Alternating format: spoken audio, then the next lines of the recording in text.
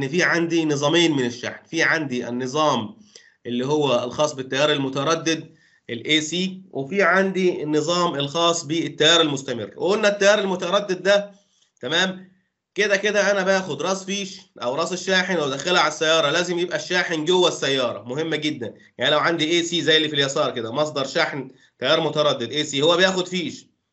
طب الراس بتاعت الشاحن موجودة فين؟ جوه العربية. يبقى جوه السيارة في شاحن.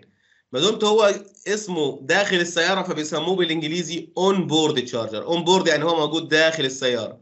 طب القطعة البيضاء دي اللي مكتوب عليها شاحن داخل السيارة لو هي مش موجودة في السيارة إيه اللي يحصل بقى؟ لازم إن أنا أشحن البطاريات مباشر. يعني هجيب لها مصدر DC يبقى أنا هشوف النوع الثاني اللي هو اسمه DC أو بيسموه offboard offboard يعني راس الشاحن هنا في الحتة اللي عليها أنا النهارده هشرح بقى الشواحن دي بالتفصيل. يعني أنا هشرح شاحن AC بالتفصيل. هشوف بيتركب إزاي إيه المعلومات اللي موجودة على الشاحن بحيث أنت أول ما بتدخل أول مرحلة وأكتر مرحلة الناس بتتعامل معاها في السيارات الكهربيه ليل نهار هو بيشحن. يعني أنت عامل زي إيه؟ علاقتك دلوقتي بمحطة البنزين. كل يومين ثلاثة عايز تروح تفول تمام؟ فأنت كل يوم لازم تبقى واخد يعني فكرة عن إيه اللي بيحصل في عمليات الشحن أنت في السيارات العادية مش بيفرق معاك. آه يا عم فول 91 فول 95 ومش مهتم قوي بفكرة التفويلة دي بتتم إزاي أو البنزين ده أو الديزل ده بيعمل إيه في السيارة.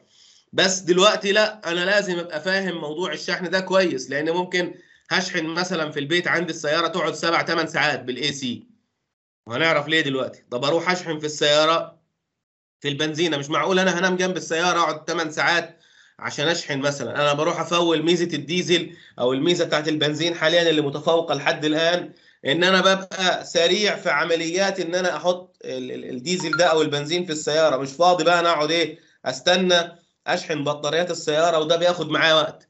فبالتالي بقي كل التحدي في العالم إن أنت إزاي تشحن سيارتك بأسرع وقت ممكن. إزاي البطاريات دي أو بنسميها ال battery bank بنك البطاريات أهو بالعربي تمام؟ إزاي بنك البطاريات ده يتشحن في أسرع وقت.